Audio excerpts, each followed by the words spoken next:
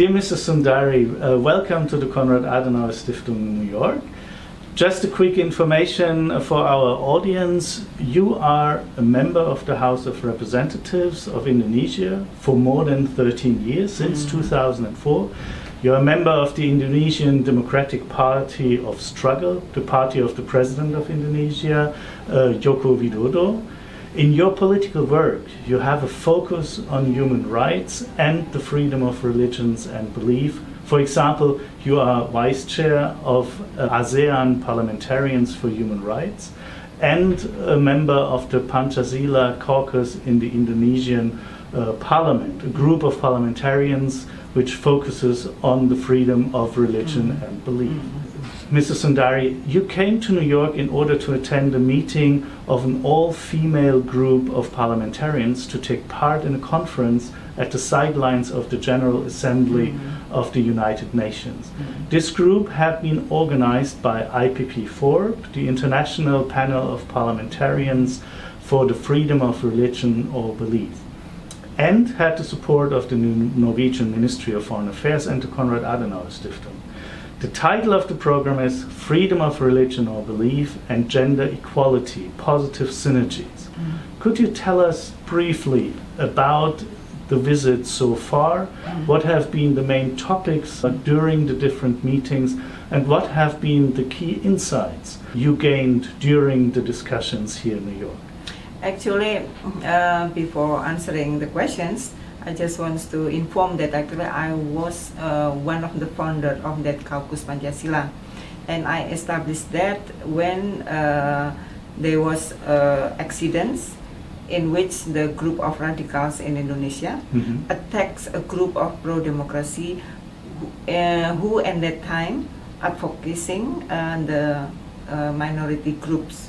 I think they are advocating for Ahmadiyya group at that time and uh, since then, then uh, people are asking us, uh, don't dismiss this caucus because we still uh, need it, especially when we realize that uh, in Indonesia we are facing the strengthenings of intolerance group. Mm -hmm. And I think they're right. That's why then until now, since 2008, until now we have this and we have this caucus and in fact uh, there are some other people also wants to join, not only MPs. Mm-hmm. That's why then we extend the network, uh, also reach out the minorities groups uh, who are the victims of the violence, and also the civil society groups who are working on the on the same issue, the freedom for religions and beliefs. And I'm so happy when uh, two years ago, uh, IPPF uh, contacted me it means like uh, yes this is uh, something that uh, I can get uh, more energy not only at the level national but also at the regional and mm-hmm. even the global level so uh, joining IPPF is really getting more network more energy more knowledge more also uh, sources of any help that we need for instance like coming here uh, when uh, fin finally uh, IPPF brought up the issue whether is there any linkages between women's right and uh, freedoms for religions and belief? Yes, there are because somehow as a feminist, uh, I learned that uh, women are the most fragile groups and they are having the potential to be victims of uh, multi subordinations yeah mm-hmm. uh, as in the economic sense and also in the religions uh, sense and what's disturbing me right now uh, in Indonesia for instance uh, the NGOs working on the radicals group uh, they report to me you know it's so difficult to de-radicalize this uh, deportant from ISIS because now we're having more or less 500 deportants from Syria. Returnees. Okay. Uh, because uh, Turkey sent back yeah. Uh, those uh, Indonesians want to join the terrorist group, I call it.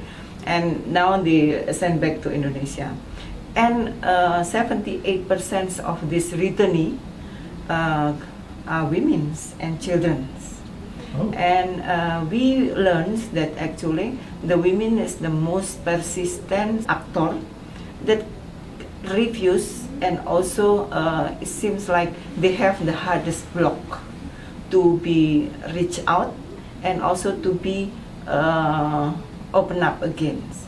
Even the husband follow the uh, wife, and when I ask why is that, uh, and now we understand why the terrorist group ta- are targeting women now as a core for recruiting new members.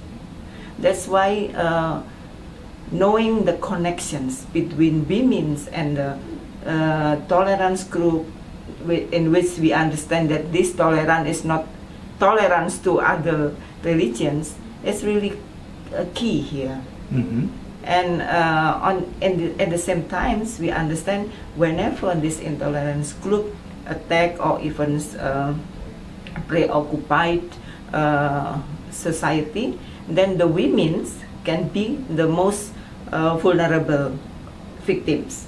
So we have two situations like this. If the women's joining the terrorist group they are the most persistent people that can be radicalized but once they are in the victims group, they are the most vulnerable. hmm So it's really important to uh, to learn about the connections between freedoms of religions and uh, the status of women. So, so you are trying actually to target both uh, groups, those who are the, the women who are victims, Yeah. but also the women uh, who have been part of uh, a group of ISIS or Yeah, another yeah. terrorist group and Mhm. are returning to your country. How do you try to target? through our network the co- Okay. uh, because we are networking with uh, many civil society and some of them now they are working uh, with this uh, returnee from the, uh, from uh, Syria Mhm. and uh, they they uh, send a report to us and asking for help for instance like please reach out the ministry for social uh, because uh, they don't provide help and so far the help is only designed for uh, children Mhm. not the women where in fact then we found out that after having a consultation and also discussions with them we know that actually the women's is the key Okay. uh, among the family that if then you can uh, radicalize these women it's very easier to influence other member of family I see. So I see that, that you support the idea that uh, for the f- uh, freedom of religion or Mhm. belief and women r- women's rights are mutually reinforcing. yes If you look at the United Nations, what, what do you think could the United Nations do better to, to also uh, promote this uh, development? Yeah, I think I just learned uh, yesterday from uh, our discussions. The UN itself is having problem uh, in which that uh, they are uh, they are considering there are two groups that cannot communicate each other. The group which uh, considers yes we must take into account the religious group Mhm. but the other group, which is very secular, tend to uh, just to make distance and no, because we are uh, respecting the freedom for religions, then we don't need to uh, take into account this religious this religious group because we want to treat everybody not based on the Mhm. uh, primordial factors, including uh, religions.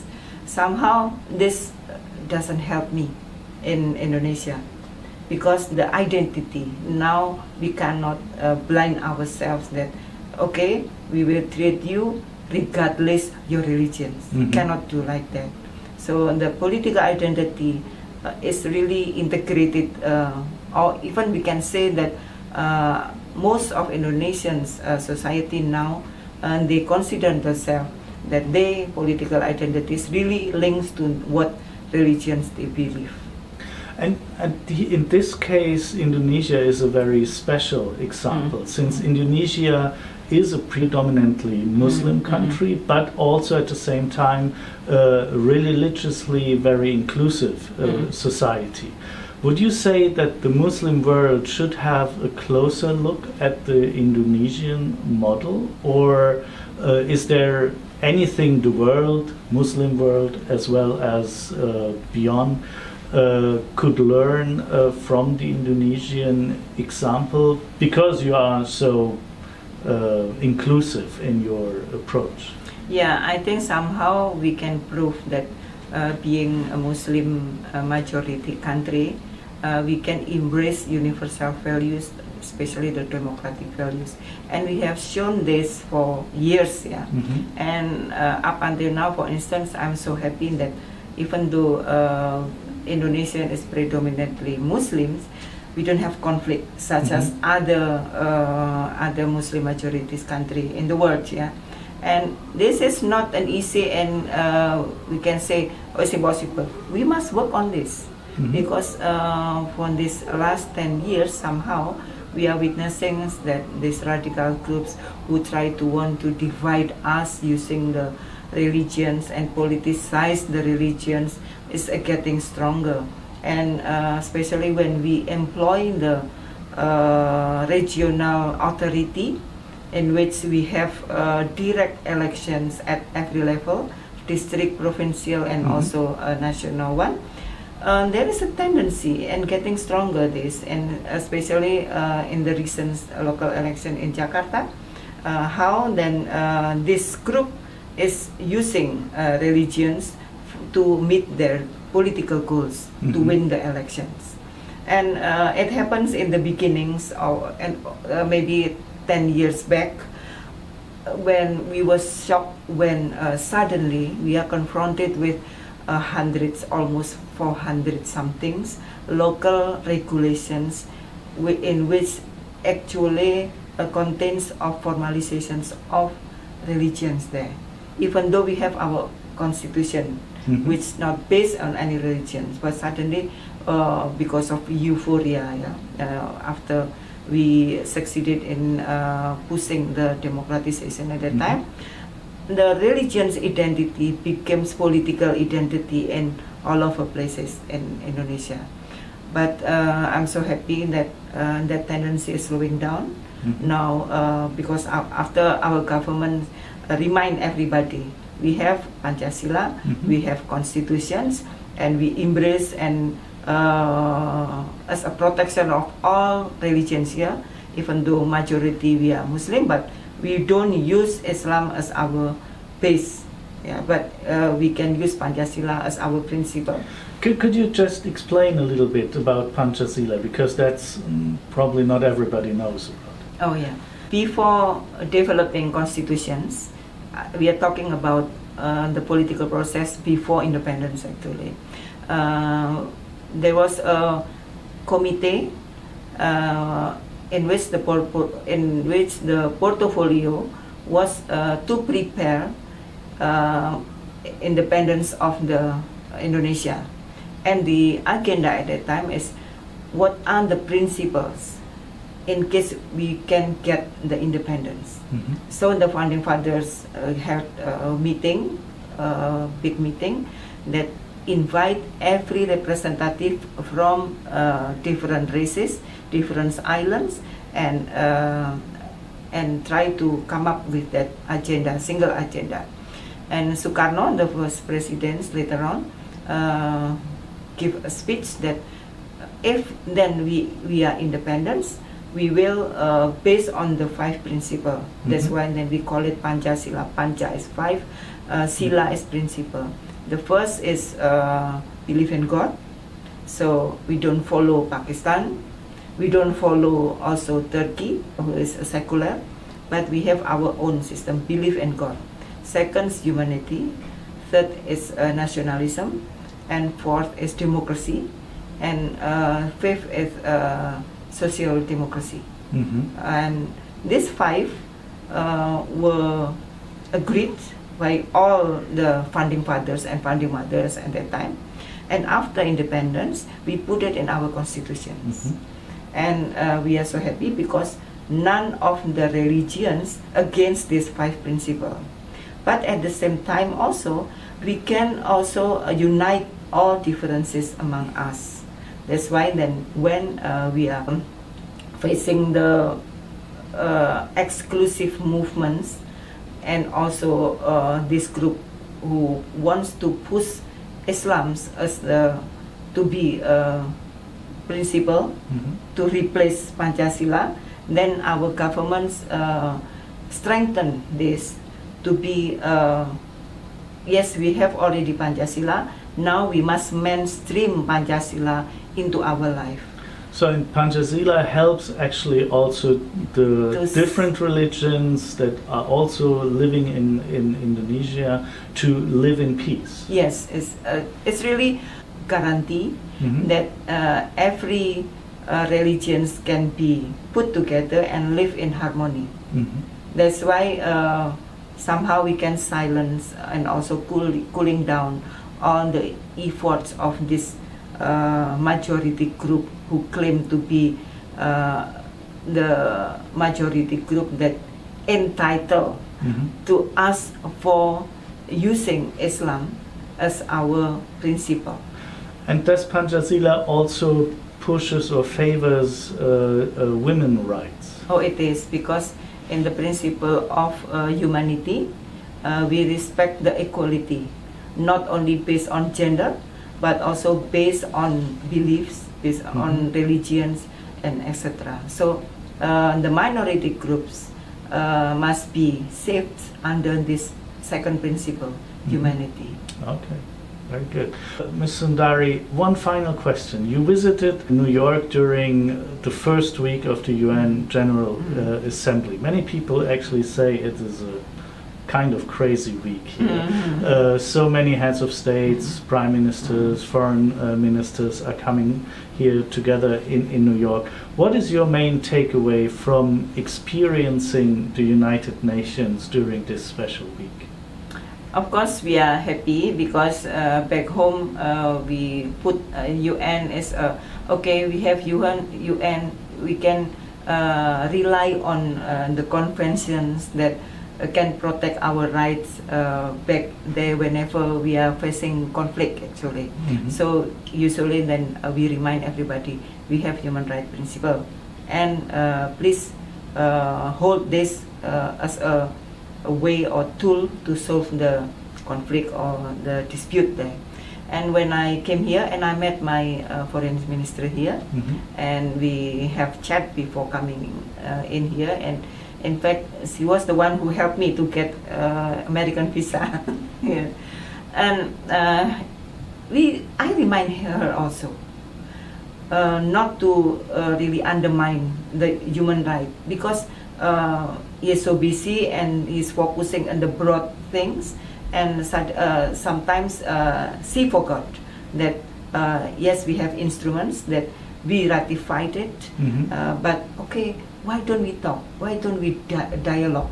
Yeah, of course dialogue can solve but in what base if everybody just neglect the human right or even the law then uh, what kind of dialogue will be Mhm. end that's why then please uh, we must stick on the uh, convention that we have ratified. And in addition to that yes we have also uh, domestic regulation domestic law. And uh, these instruments can enrich and make our dialogue to be more effective and efficient Ms. Sundari, thank you very much for this interview. And actually, it was the first interview that we conducted here It's at the my KAS in New York. Thank you very much.